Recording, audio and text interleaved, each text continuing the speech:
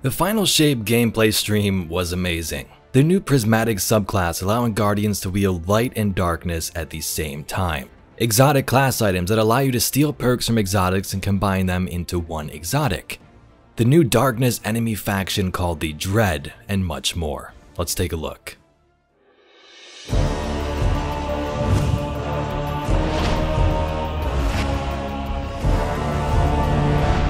So Guardians, this stream was pretty insane. Bungie has been holding back a lot since the final shape reveal last summer and today we got a ton of information. The stream began with a message from Luke Smith, who says Destiny 2 is far from over, this is the end of the saga, but the game will continue beyond.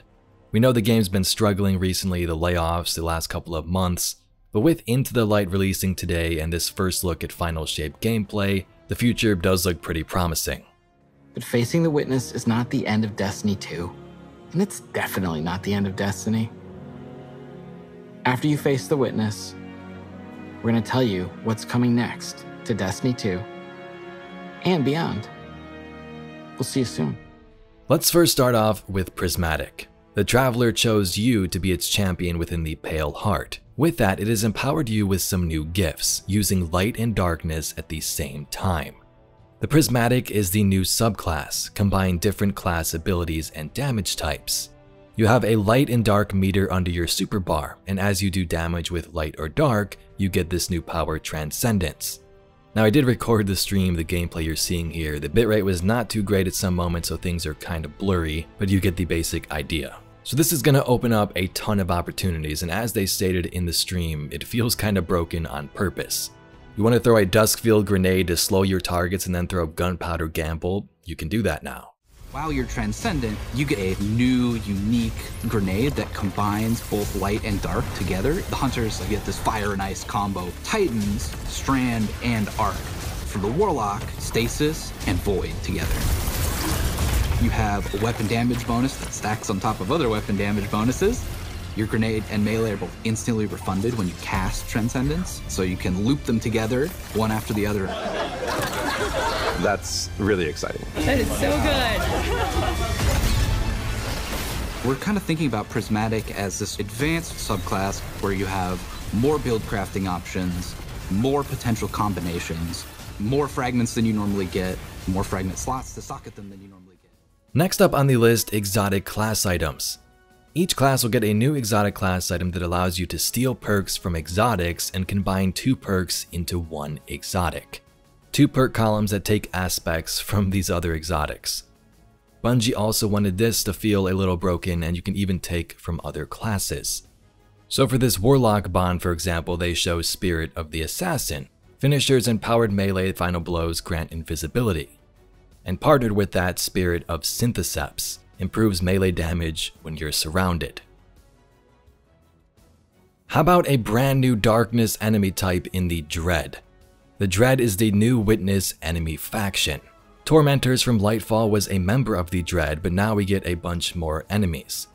The Subjugator, the Weaver, the Attendant, the Grim, and the Husk. The Grim are bats with guns, the Husk are giant melee bruisers with a Geist inside of them which will track to the player upon their death. And the Weaver and Attendant are Strand and Stasis Scions reshaped by the Witness. You might remember seeing the Tormentor make a big appearance last year. Well, that was just the first one. You have like this slate of new enemies with like the Tormentor and the Subjugators and the Weaver and the Attendant and the Grim and the Husk this is like the embodiment of the witness in these new enemies.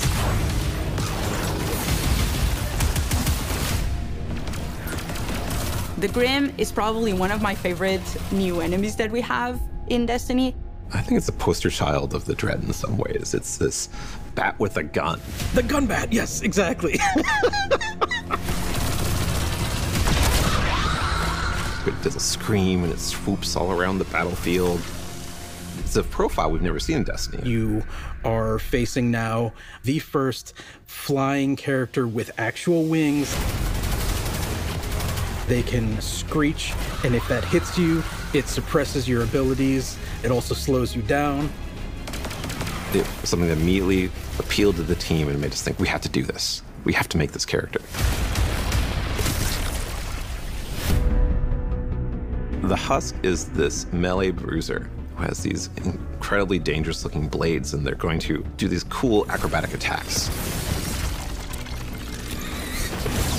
They hurt. They have two of these very sharp melee weapons, and they just come charging with those things and will just slice and dice. They are really dangerous, especially in groups.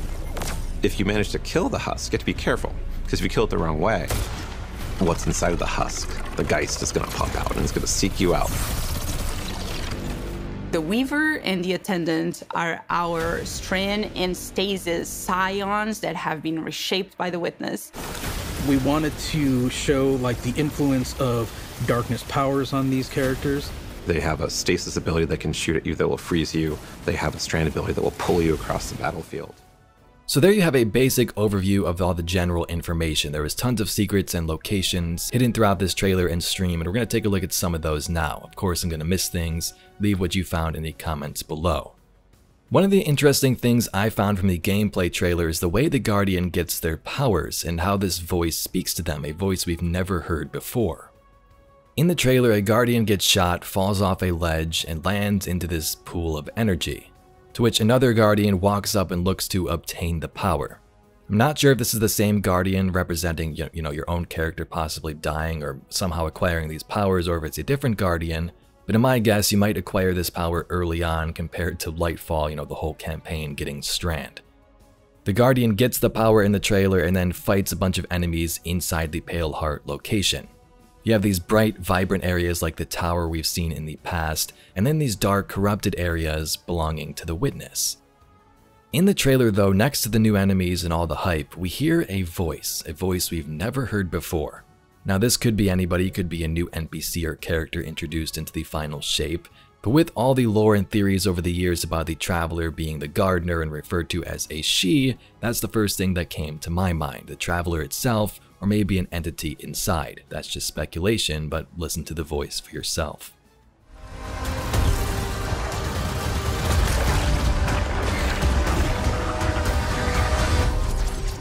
Take this power, Guardian. Be brave in dark places, for we are the light of hope.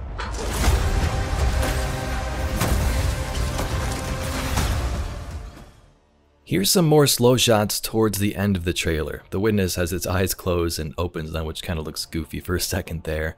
But then you see some humans in, I believe, the city looking up towards the clouds where the traveler might be. You get pictures of Mara, our guardian struggling, a hand reaching toward them, and then Cayde firing at something as it looks like Zavala and maybe Ikora or our guardian are running away from something.